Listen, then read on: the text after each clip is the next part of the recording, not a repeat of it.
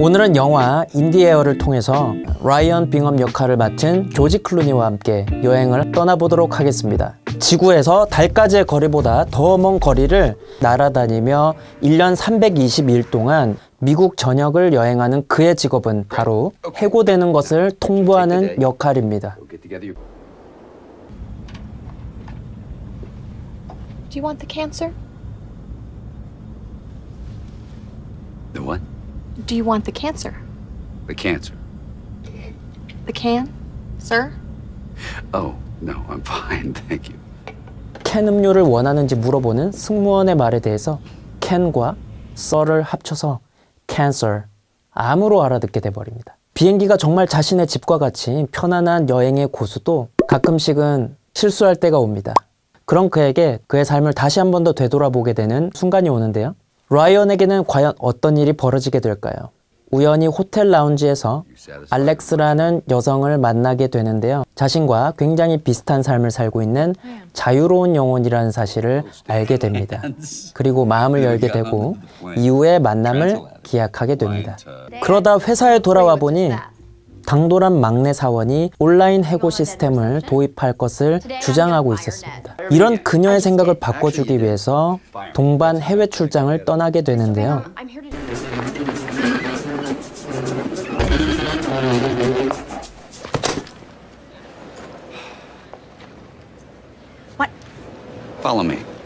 잦은 출장을 위해서는 짐 자체를 줄여야 된다. 그래서 가방을 더 작은. 가방으로 사주는. 대신. 이것저것 버리기 시작합니다.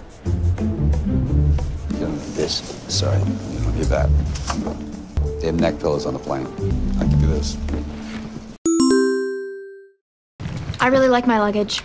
I really like my luggage. I really like my luggage. luggage 하면 자신의 짐이나 특히 수화물 칸에 들어가는 캐리어를 말하는 것이죠. 우리가 캐리어 캐리어 많이 하는데요. 영국식은 luggage, 좀 더 미국식은 baggage. 기내에 가지고 탈 수 있는 정도의 끌고 다니는 가방을 carry on이라고 합니다. carry on.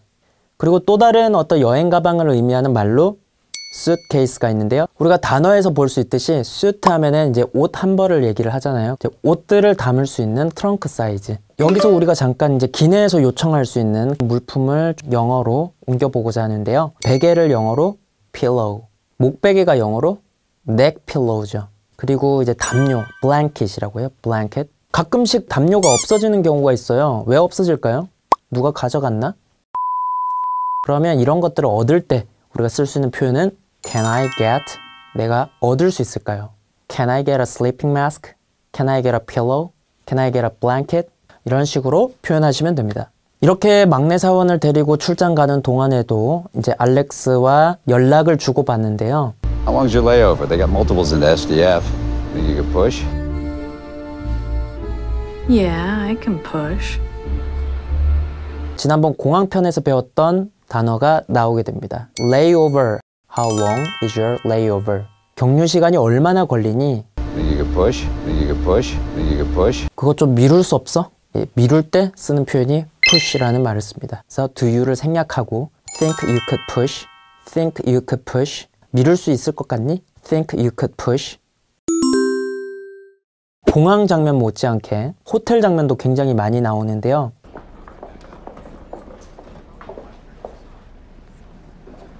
He just waltzes in and cuts in line. We reserve priority assistance for our 라이언은 여행을 많이 하기. 때문에 호텔에서도 VIP. 특전을 많이 누리게 됩니다. Excuse me. Are you available? This line's for members of our Matterhorn program. 그냥 일반 호텔에 가서도 빨리빨리 사고방식에 항상 사로잡혀 있는 것이죠. 자, 여기서 정말 유용하게 쓸 수 있는 표현 하나를 배워보도록 하겠습니다. 우리가 호텔, 공항, 그리고 쇼핑몰 어디서나 쓸 수 있는 표현인데요. Are you available? Are you available? 이용 가능하니? 자리가 있니? 영업하고 있니? 이 모든 상황을 이 표현 하나로 때울 수 있습니다. Are you available right now? 원어민들도 문자나 전화를 할 때 너 지금 시간 있니? Are you free right now? 대신에 많이 쓰는 표현입니다. 한편 라이언은 결혼을 앞둔 그 여동생 부부에게 본인이 가는 그런 명소마다 특별한 그런 아이템을 구해서 선물로 주는 미션이 있는데요. 그것은 바로 인증샷입니다. 두 사람의 사진이 인쇄된 스탠드를 세워놓고. 어디서나 사진을 찍게 되는데요. Still closer. Closer. Okay. Uh, a little left. Okay, down a little. 막내. 사원인. 나탈리에게 계속 사진을. 찍어달라고 부탁을 하고 있습니다. 우리가 관광지에 가서 사진을 찍을 때 쓰는 표현 정말 쉬울 것 같은데 막상 말로 튀어나오지 않는 경우가 많죠. Closer. Way closer. Still closer. Closer. Way closer. Still closer. Closer. Way closer. Still closer. 좀 더 가까이라고 할 때 쓰는 표현이 closer, way closer, still closer 뭐 이런 표현들을 쓸 수 있습니다. 나 좀 사진 좀 찍어줄래 할 때는 Could you take pictures? Could you take pictures? 나랑 사진 한 번만 같이 찍을래? May I take a picture with you? May I take a picture with you? 우리 저기 가서 찍자. 뭔가 시도해 보자. 그런 의미에서 Let's try over there. 어, 장소에 따라서 이제 사진을 이제 찍어도 되고 안 되고 이제 그런 경우가 있죠. 애매할 때 물어보는 그런 표현. May I take a picture here? May I take a picture here? No, you can't. I'm afraid you can't. Taking pictures inside is not allowed. Taking pictures inside is not allowed. 이런 문구가 있으면은 안에서 찍지 말라는 거겠죠? What is that about? Are you talking about, like, frequent flyer miles? You really want to know? I'm dying to know. I don't spend a nickel if I can help it, unless it somehow profits my mileage account. So, what are you saving up for? Hawaii? South of France? It's not like that. The miles are the goal.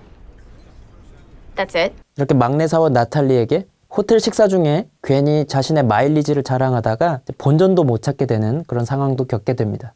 Are you talking about, like, frequent flyer miles? Are you talking about, like, frequent flyer miles? You talking about, like, frequent flyer miles? 라이언의 목표 중에 하나는 천만 마일리지를 채워서 세계 일곱 번째로 플래티넘을 받는 것이었죠. 마일리지는 말 그대로 mileage라고도 하고 거리 단위를 그대로 영어로 옮긴 miles라고 말하기도 합니다. 여기 대화에서는 miles를 썼는데요. 나탈리가 썼던 표현 중에 frequent flyer miles, 항공사 마일리지라는 의미죠. 너 마일리지 얼마나 모았어? How many miles did you earn? mileage라는 단어를 쓰면 how many 대신에 how much를 씁니다. 그래서 how much mileage did you earn? How much mileage did you earn? 하나의 항공사에서 이제 마일리지를 쭉 모으게 되면 그것을 이제 사용할 때 우리가 특전이라고 부르죠. 특전은 영어로 perk라고 합니다. perk. get perks. get airline rewards라고 합니다. 좌석도 업그레이드 할 수 있고요. get a seat upgrade. 이런 여러 가지 혜택을 누리게 되는 것이죠. 알렉스와 라이언은 이제 중간에서 만나게 되는데 그 순간에 막내 사원 나탈리가 자신의 남친과 깨졌다는 그런 사실을 말하게 되네요. 이때 두 사람은 힘을 합쳐서 상담을 하게 되고 그때부터 나탈리는 이 두 사람의 데이트에 끼게 됩니다.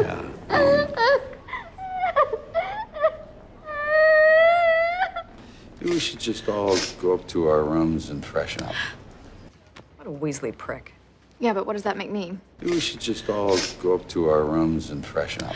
Maybe we should just all go up to our rooms and freshen up. Maybe we should just all go up to our rooms and freshen up. 방에 올라가서 쉬자. 표현을 영어로 어떻게 하면 될까요? Let's go up to a room and freshen up. Let's go up to a room and freshen up. So, what's the plan for the evening? Well, we're gonna hit that party for the tech conference at the hotel. Because I thought you had to be registered. Well, I, technically, I don't think it's open to the public. stop by. I get it.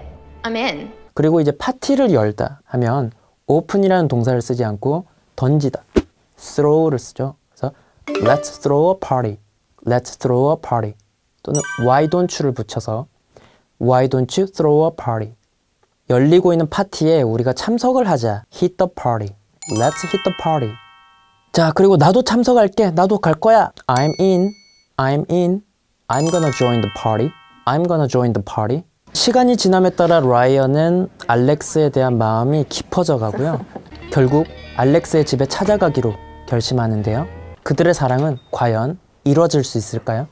정처 없이 목적 없이 떠도는 여행과 인생을 오버랩 시켜주면서 잔잔한 감동을 주는 영화 인디에어.